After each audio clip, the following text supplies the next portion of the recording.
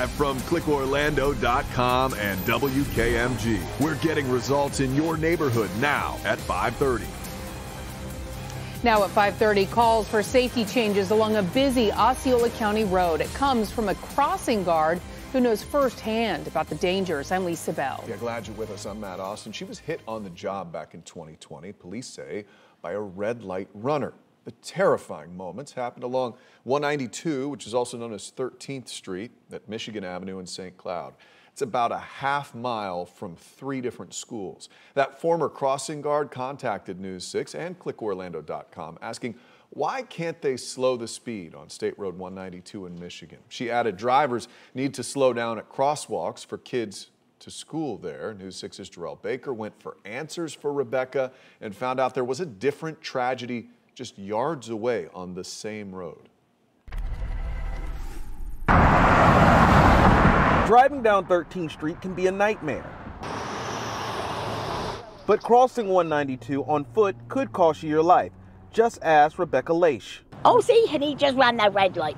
Mm. Shame on him. Rebecca helped students cross 13th Street and Michigan Avenue as a crossing guard for a decade until she was hit while on duty by a driver running a red light in 2020.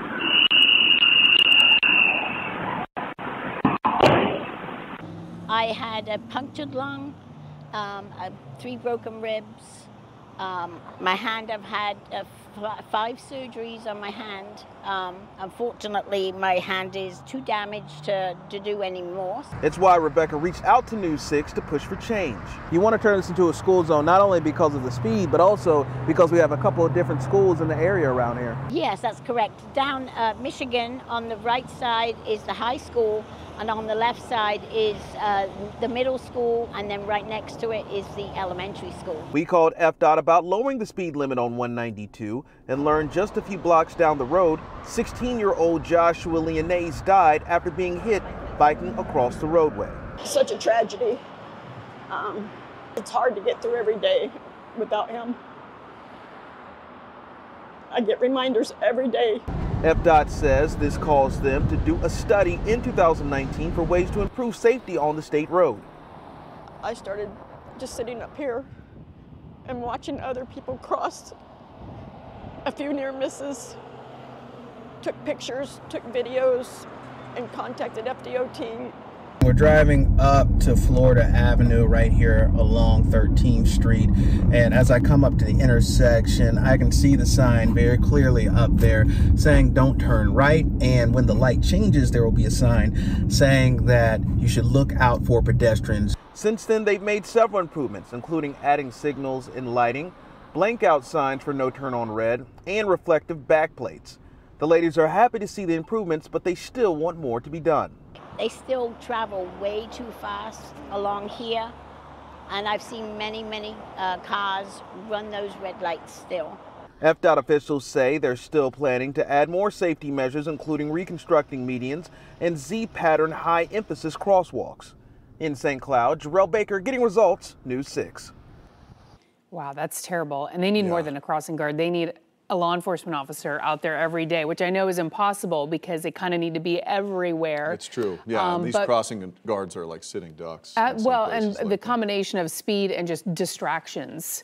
You know, she that lady is really lucky that she is still alive. Spot. I'm yeah. glad she spoke to us yeah. and told us about this. Really, this is about awareness. Traffic safety expert Trooper Steve went to check some of the changes on that road. Yeah, and we wanted to get more perspective on the changes as well as a look at the speed and how close it is to the schools. Here's a snippet of this drive this morning around 10 a.m. Now, when you're headed westbound on 192, you have to make sure you're paying attention because the speeds do change. When you're coming in from the westbound direction out here, speed limit's about 55, then jumps to jumps down to 45, and then right here at Delaware, we're at a 40 mile an hour speed limit a lot of people would look at this going, man, I've got three lanes to continue going westbound. I, it must be faster. It is not. It is 40 miles per hour. And we need to also think about morning and evening commutes. There's going to be a lot of extra people on the road. So as we continue westbound and we begin to approach Michigan, I can already start seeing the signs that are saying, hey, watch out, pedestrians out here, right? Look to the far right a pedestrian sign there. Then an extra marking letting you know, look, there is a crosswalk in this area. Now, this is the intersection where that crossing guard was unfortunately struck. And guys, when I tell you that this crash was nasty, this crash was nasty. Uh, she was severely injured. Thank goodness she is still with us to tell the story. But something like this is preventable when you're paying attention to the roadway. Look here what they've also put in. They've put in more markings for the pedestrians themselves. If you look out here, the that uh, kind of yellow stanchion sticking out, that barrier there. That's not only to give signs to the pedestrians, hey, stay out of the road, but it's there for you as well, letting you know, look, pull further out, make a wider turn so that pedestrian vehicle traffic is not interacting. A big thing to keep in mind here in St. Cloud, when you're on 192, things look very smooth. The second you turn off, you become embedded in a residential area. Let me show you what I'm talking about. So we turn south here on Michigan, and immediately you go from 40 mile an hour to only a two lane road to 25 miles per hour.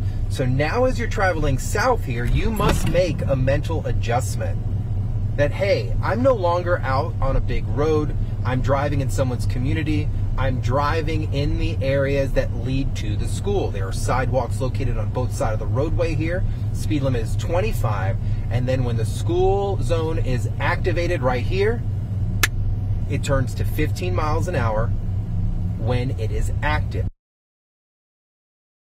Hmm. It's Interesting. Also, it is, yeah. and it's also a reminder uh, if you have kids who will be walking to school to have a very long conversation with them about being safe, watching for other drivers, not being on their phone not as being, they walk or with the headphones street. in, yes. or just and, assuming because you're in a crosswalk that people are going to stop. And I always tell my kids if you can avoid walking near busy roads, sometimes you have to cross one, Yeah. but also just wait to make sure everyone is stopped before you step out in the road. Yeah, Rebecca is going to join Trooper Steve on patrol this upcoming Tuesday for the start of school. They will talk about safety, especially as a former crossing guard. We're excited to hear from her on mm-hmm. that. You can watch Trooper Steve on patrol live weekdays at 8 a.m. That's on clickorlando.com and the News 6 Plus app.